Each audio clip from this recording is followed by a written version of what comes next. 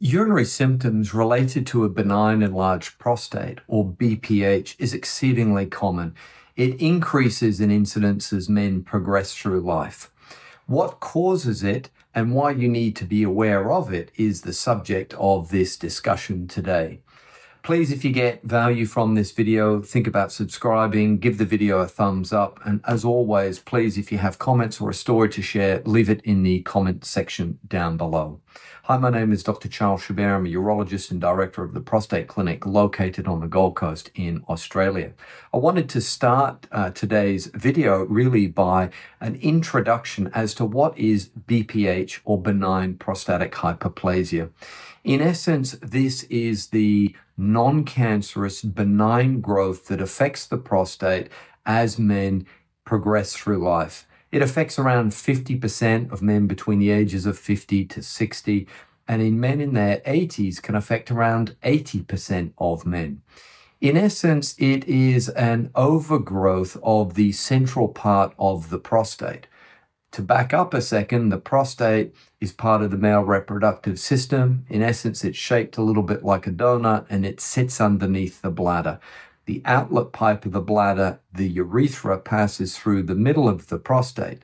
As the prostate grows, there is gradual progress, progressive occlusion, and a bit like a clamp on a pipe, the bladder becomes gradually obstructed.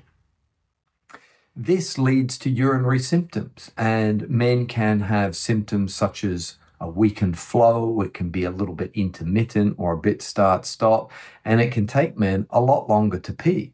Sometimes they feel like they haven't emptied their bladder properly.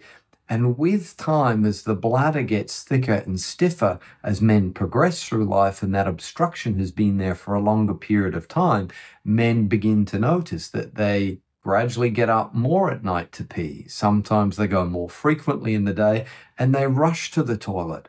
Many men think this is part of the natural aging process. And whilst that is true, men don't need to suffer this in silence. And there are many things that can be done to improve the quality of life that men experience related to this exceedingly common benign condition. So why do men get BPH? Well, the first factor really is that it is related to age. Younger men do not have issues with the benign enlargement, but as men progress through life, the prostate gradually grows, and that's where symptoms begin to cause a problem. It is thought that in part it's the cumulative exposure to the male hormone, which is testosterone. You may be aware that testosterone increases when boys hit puberty, and that increase in testosterone continues for the majority of a man's adult life.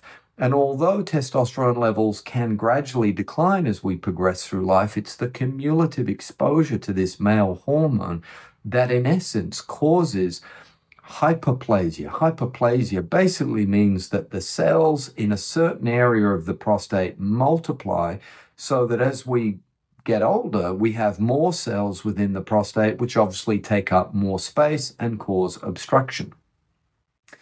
Now, the second potential cause for why men develop BPH is an increase in what's called DHT or dihydrotestosterone. Now, testosterone is converted to this chemical called DHT, which is the active form of testosterone. And increases in DHT can cause proliferation or cell division and multiplication, which ultimately results in obstruction to the bladder. Now, it's this pathway that is used by some drugs, which are in the family of 5 alpha reductase inhibitors these this class of drug basically prevents testosterone from being converted into DHT.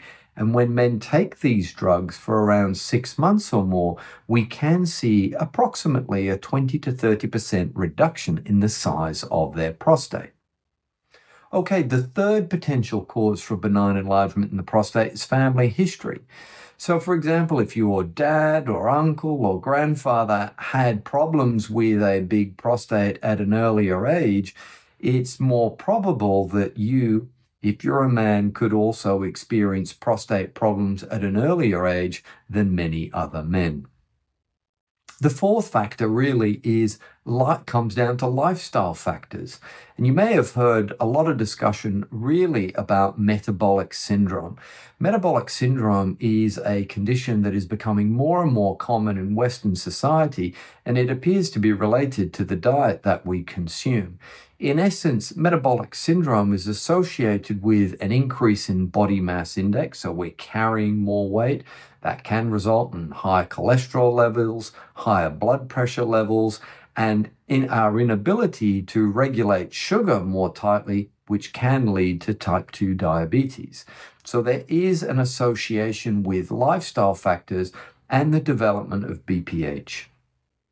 The final aspect really relates to inflammation. And there's a lot of noise in the medical world now about the role that chronic inflammatory conditions can play in the development of a variety of different uh, conditions throughout the body. But it is thought also that this low grade ongoing inflammation that can irritate various structures within the body can play a role to the development of BPH.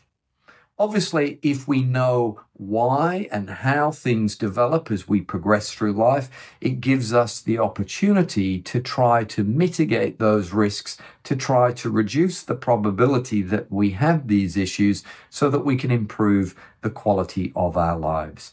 As always, if you have questions or comments, please leave them in the comments section down below.